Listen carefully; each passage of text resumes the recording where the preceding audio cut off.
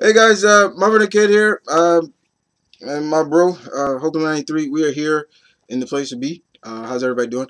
Um, we are back, and we just came back from seeing uh, Cap America. Uh, Yeah, Civil would have been back earlier. Yeah, we would have been back earlier, but uh, we we had to go get some grub and stuff like that. I was like, And- go find my tablet. Yeah, Malcolm left his tablet uh, in the movie theater. Luckily, we found it. He found it. It was cool. Um, we're here to talk a little bit. We're not going to go really into too much detail, guys, because of the fact that you know we got the YouTubers core, our group. We have the whole round table. We're going to get together and do uh, in a little bit. But first of all, we got to make something. Let me make something perfectly clear here, right now and right now. Uh, I said that twice, but we're this this review is not about putting down. Not just this review, Yeah, even the roundtable review. We are not here. To, we're not putting down. BVS. We're not putting that down. We're not even going to try to compare it. So if you're going to bring any of those questions to us when this video goes up in the comment section below, eh, know this right away. They will be deleted. I will not answer them because I'm not trying to get into some kind of feud or DC versus Marvel nonsense, which I get tired of. we're not using Civil War. We're not using Civil War to uh, to to use as ammunition for BVS. Right there, you go. Um, so we're we're, let- let- we- we're gonna we're we're not gonna spoil anything really, guys. We're, we're gonna try to keep this spoiler free. I always try to do that with my review. Um, the first thing, as always, what I try to do is uh, I don't think I have our ticket stubs anymore. Usually for my reviews, I always show the ticket stubs because that's my legitimacy of showcasing It's proof that we did see the movie. I don't think I have the ticket stubs, and I think I threw them away. Uh, let me make sure. Uh, I think I did. I think I did. Um, yeah, It's all wet. but uh, uh, yeah, I think I did. Um, but We did see the movie. we did see the movie. Um, wait, no, here we go. Aha, there it is. There it is, right there. You can see that. There you go.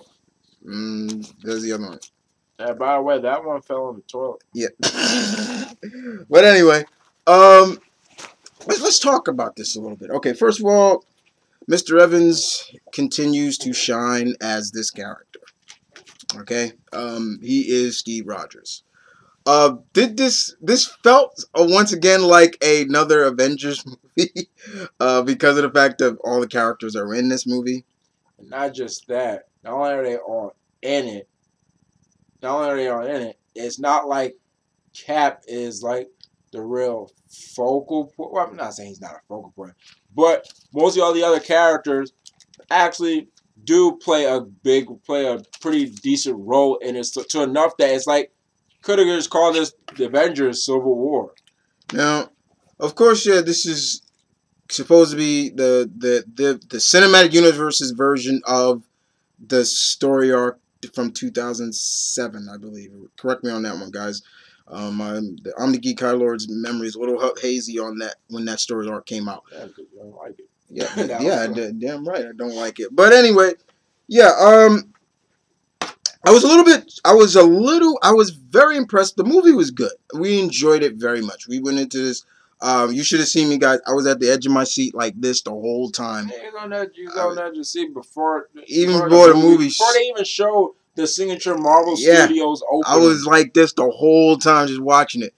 Um, the the movie was very fast paced, in my opinion. Like it, 147 minutes. it was one of sorry something, yeah, but it was like it was like this, very quick, quick, quick, quick, quick.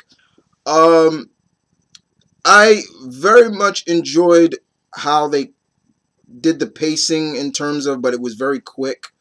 Um, you seeing what's been going on with the team, and you're seeing kind of what Steve Tony has been doing outside of the team, and uh, of course, with anything, there's got to be some kind of incident that kind of brings on the focal point of why this is called that. And we see that in our, manner of speaking. And Mom and I are going to kind of get into that. That's something that we wanted to talk about. Kind of what was probably the two of the biggest things we kind of had a problem with this movie in a sense. But uh, other than that, was crystal clear, fine. Um, we talk a little. Let's talk about the probably the two two newest members of the MCU. Okay, Mr. Boseman. He killed it as Panther. I I loved him as Panther. His performance, first of all, just hearing him with the accent, I was like, ooh. I was like, ooh. It didn't sound phony. Yeah, it didn't sound phony because if I'm not mistaken, Mr. Boseman has played an African character before in a, a previous movie. But I liked how he, he portrayed himself. Um, very almost clear cut to the comic. I was like, wow, he, he's very close to that, that character. And what makes it even more is that I, I was telling Malcolm once again, if Mr. Jack Kirby was alive, he'd be very happy to know another one of his creations has made it to the big screen. And just seeing what Mr. Boseman did in this, everything he was in, I, we were surprised how much he was in this movie. He Yeah, was He, he, if you had to, if you had to rate like in terms of, excuse me, like level um, not even have, probably, probably not, probably important is probably not the right word, but probably um how they was integrating the story. You had to level it. Besides Cap and, besides Cap and Tony, and Bucky, probably T'Challa is right underneath them. Probably it, he's right there with them because you know it's a little spoiler, but because he's even in uh, the the final like the final conflict final, scene. final, yeah, final act. Yeah, the final act. He he plays a part in that. Yeah, but he was so good. I really enjoyed. I liked the flow. I liked his fighting skills. I was like perfect. Just that's exactly how T'Challa would fight. Um, and go ahead. the com- and I think the performance of Black Panther, we have Boseman's performance, and the, and the direction of Black Panther, and the um, direction, and also the um, the portrayal of Black Panther, um, accomplished. I think the one and main objective of Black Panther being this was was was it enough to make people interested in him getting when he gets his own movie. And I think that was the main objective to be accomplished with him being integrated in this movie. And I think that was accomplished. I That think, was- yeah. Even though I even though yes, we were interested in oh, Black Man getting on the movie. But okay, you give us a little bit more of an incentive of why yeah, we would like to go see even more. And that's what I think that did. Yeah, it, it, it definitely uh, even made me more. I'm, I was already, I'm a Black Panther fan, period, guys. So when Marvel announced that Panther was coming, I was I we most of us fans were always saying when are they gonna do Black Panther, and I was probably amongst a few that was saying I'm just patiently waiting to, I'm patiently waiting, and when they finally announced, I was like, yeah, and but this pretty much now kind of put that stamp of approval, like there you go, certified. And now it makes you wonder, okay, when he comes, I can't wait. And let's talk about young Mr. Holland. Young Mr. Holland as Peter Parker. Spidey has is home in a sense. He is home. And I gotta say, right off the bat, he had everything I wanted from my favorite hero, my number one hero. He had the quirkiness, he had the the the the, the geekiness, he had everything you want that it felt very much like Peter from old days of Stan Lee and Ditko run. Is Peter was always the younger, the young hero in the eyes, watch looking through the eyes of these older heroes, and it, he and Tom Holland portrayed that very well for me. I was like, he got it. He he got it. I I saw. He said that Mr. Holland said, young Mr. Holland said, and I keep saying that because I'm older than him, uh, but he said that he's going to take a little bit of Maguire and a little bit of Garfield and put his own twist to it, and he did. He did, and but it was it was good. I liked how they did it, and yes, seeing young um, Marisa Tomei. Oh my God. The Tomei? Hey, hey. Yeah, hey, hey, yeah, that's right. Um, but yeah, he did his thing, and when he got in the costume, he's great. The way he interacted with the other heroes, even though he was in conflict with them, was perfect. Uh, I like the fact that they didn't go. We already know the origin, so they didn't have to do that. But I like that they announced that he's been Spider Man like six months. That okay? We're gonna spoil that. He's been Spider Man for six months. Um, so, but there are some stuff like even with him, it's it was just like okay, he's been around for six months, and we're just knowing about it now. Well, that would only get yeah. That you can't really. Yeah, that's right. Like, look, for those years the Marvel Cinematic Universe have been around, yeah, Spider Man was still part of Sony. Right, right. So, you know, what you gonna do about it? Yeah, you can't really explain it. But the fact is that he's been around for six months and he's already really enhanced with his powers. I, I like that they kind of went a little in depth with his abilities of why he wears. He was wearing the. Actually, I don't want to spoil that. I'll spoil something in there. But he, he was talking about his, his spider sense like and everything. Goggles? Yeah. See, that's why I didn't want to spoil that. But yeah, he was talking about like his senses are so now up now. It's like almost it's hard for him to focus sometimes. And I was like, okay, that's kind of interesting. Did get bit by a yeah. All right. mm-hmm. But then there's also something that I'm I'm not sure if it's true, but when he was interacting with Tony, Tony was in his apartment in Queens. Um, he said something, ladies and gentlemen. When Peter likes to tinker with stuff and he fixes stuff, he said it. But then he said, I think he said another character's name. I'm not gonna ruin what it is, but he's and I'm like, was that a name drop? For was that name drop for a reason, or was that just somebody else? Um, for anybody who does, yeah, you see Malcolm doing something, yeah. Um, but both characters, Mr. Boseman and young Mr. Holland, they did their thing. They certified us now that personally for us, we're more, very more excited to see them in their own respective movies now. Um, but we do have some problems with this movie, and it's it's something that I think we all uh, have had a problem with, especially with this almost indestructible armor that is known as the Marvel Cinematic Universe and that has always been the villains. And I'm gonna let Malcolm deal deal with this guy. Uh, yeah, so uh, yeah, handle that. yeah. Yeah. Okay.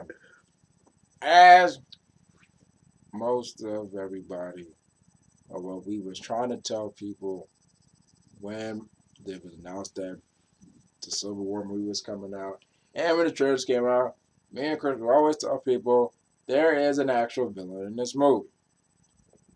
And they kept this villain under wrap. Now, probably we thought, hey, they're keeping Zemo under wraps. I mean, Baron Zemo, but uh, he mm-hmm. wasn't even a Baron in this, just to let you know. We thought they kept under, they kept him under wraps enough where it was like, okay, probably he's gonna be a big deal. And you come across as a big deal. Heck, there was a guy, a guy was sitting there who I was conversating with every once in a while throughout the movie. Well, I actually told him that I was not feeling him. He was like, "Yeah, I'm not feeling him either." And like Chris brought, there's been a flaw in the Marvel Cinematic Universe that yeah, well, they get the heroes pretty done right. It comes at the expense. Like it comes at the expense of the villain. And one of my fears of this movie was that by the time the whole Civil War conflict, you know, gets, you know, or that gets cleared, or that, you know, that subsides, and it's now on to, yeah, that it's Zemo that's that's the real villain, or he's Puppet the, master. yeah, he's, he's yeah, not that good. Mm-hmm. Um, that yeah, it's gonna be like, all right, we're now on to Zemo, and my fear was that when that happened, they move on to Zemo. It's like, well, he kind of should just kept it between, yeah, Tony and Steve. And that's exactly what I felt. I was like, you could have just kept the, the conflict between them and it just being resolved. Yeah. And I'm just okay, Zemo. I'm like I'm not gonna remember him. I'm not. And okay, yeah, he didn't look like his comic book counterpart, but at the same time, he looked pretty, looked pretty generic to me. Yeah.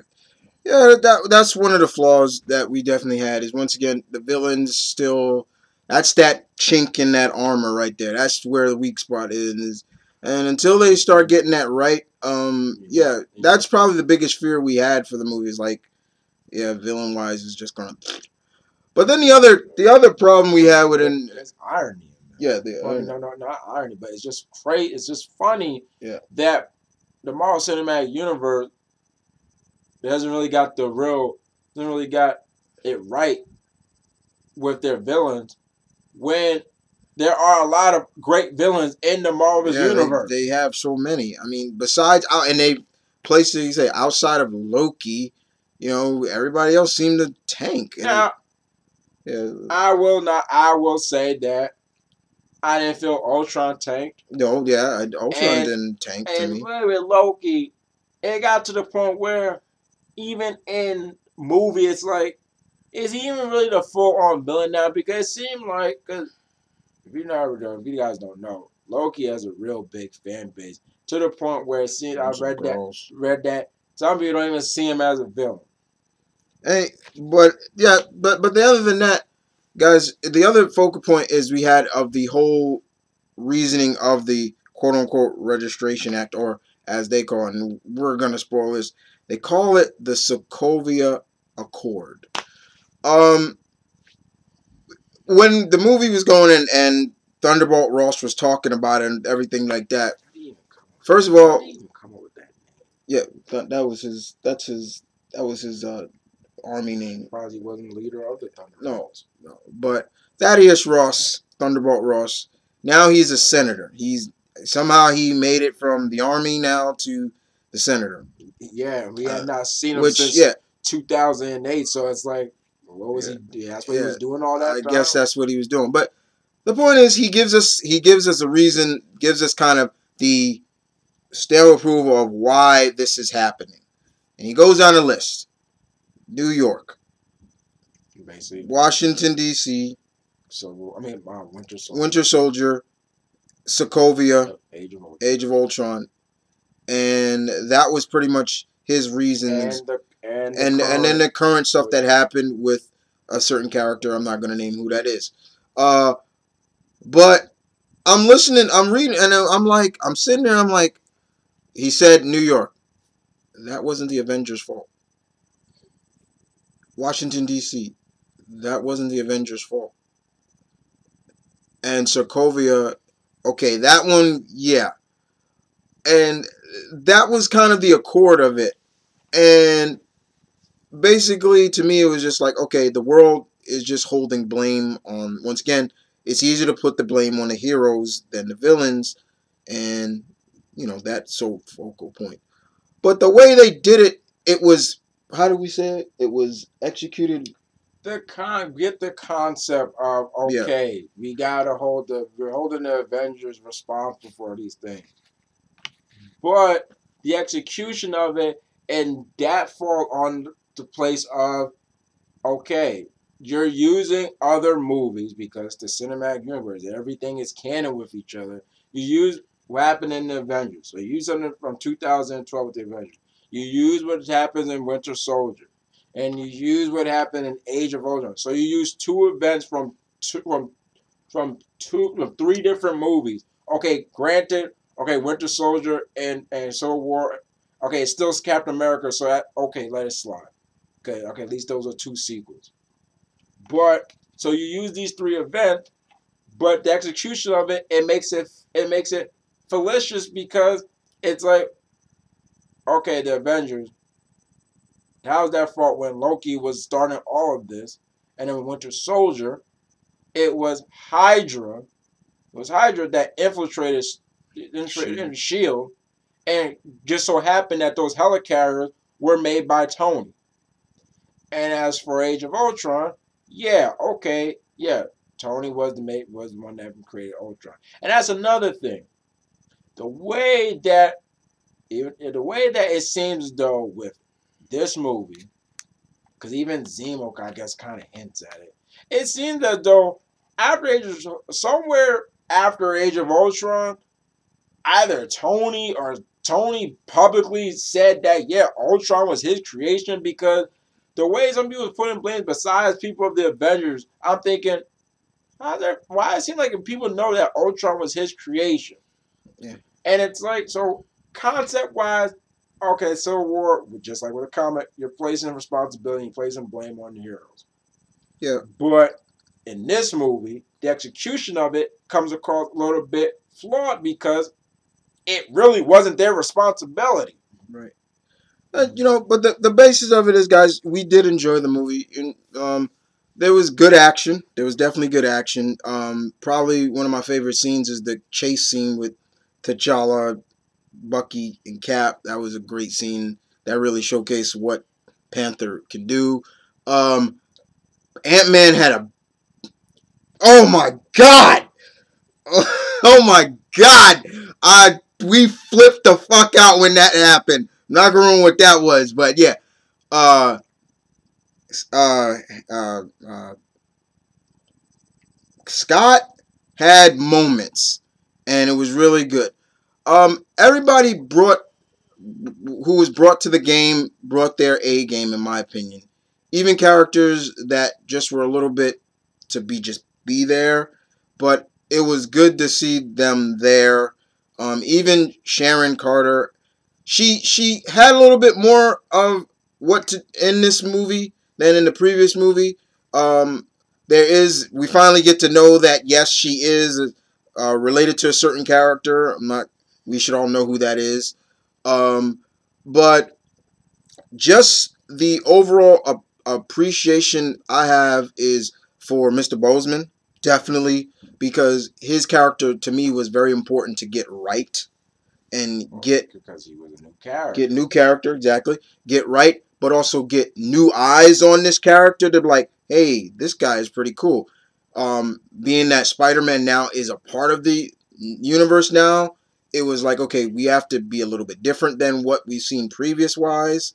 Um, but overall, we enjoyed it very much. Um, this was a highly anticipated movie that was beeping on my radar very loudly, and I sat through this movie just eyes open and glued my. I I'm not joking, guys. When I was like this the whole time, like this. Oh, it was only like one time I actually leaned back in my seat, but other than that, eyes was wide open like this, like just rooting for Tony. Rooting is not. I was more. I was Team Cap. Yes, I'm gonna be honest. I was Team Cap.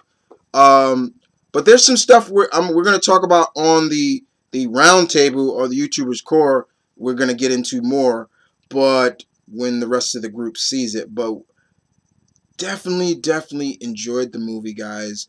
Yes, we had there were certain problems that we had with it, and I wouldn't be myself. Um, wouldn't be real if I didn't say I. Oh, it was great. I had no problem with it. No, there were some things I had a problem with. Um, yeah, but we enjoyed it. We very much did. Um, and Malcolm enjoyed it. Yeah, yeah I did very much. I mean, I mean, we we've seen so far three, no, four movies. This uh, but there's only been three superhero. Yes, three superhero movies so far that we've seen so far, and the three that we've seen, I would literally say two out of three we enjoyed, and there are it's supposed to be seven, but now I think there's only six left. Um, and three down. Now I think there's only uh, two. I think two more. No, three more for me to go. Uh, which are X Men, Suicide Squad, and Doctor Strange. Um, yeah, um, yeah. But other than that, guys, I, I, don't see why is TM why is the turtle even considered a superhero movie. I, I, am just I don't get that. I get that the turtles came from comic, but me personally, I never look at the turtles as Superhero, superheroes. superhero, I yeah. see them I- as heroes, Yeah, but I never put the term superheroes for them. But uh, uh, uh, yeah, but we, we we we we very much enjoy this, guys, and um, you guys tell us in the comment section below how I'm just trying to decide whether I enjoyed it. I'm trying to decide if I enjoyed it more than I still enjoy Winter Soldier. Yeah, but once again, Captain America has proven that, in our eyes, he is the most consistently good of the solo Marvel movies. And we mean that because he's had three so far. Has this broke broken the trend of you know the Doom superhero movies? That third movie comes out, the Doom, it goes ding the. Uh, yeah, we could kind of say that, but Man, that made it seem like Dark Knight Rises bad. Yeah, not no, but there there are more misses with superhero movies with threes than um, are hits. But uh, other than that, we enjoyed it. You guys tell us in the comment section below what did you think of it? Did you see it? We tried not to spoil too much for you guys. Uh, stay tuned because we're soon. My team will do the round table, and yeah, that will be spoiler heavy, and we'll get real nitty gritty with more of the whole cast everything like that. But other than that, guys, Mt. Vernon Kid, Hulk 93, in the place to be. We'll see you guys next time. Holla at your boys. No, we're not going to do it. Stop doing I'm doing dashy stuff. uh, as always, my my slogan. Uh, I've been watching too much Dashi, guys. Uh, my slogans, as always, peace, one love, stay tuned, keep it real, guys. As always, I'll catch you guys on the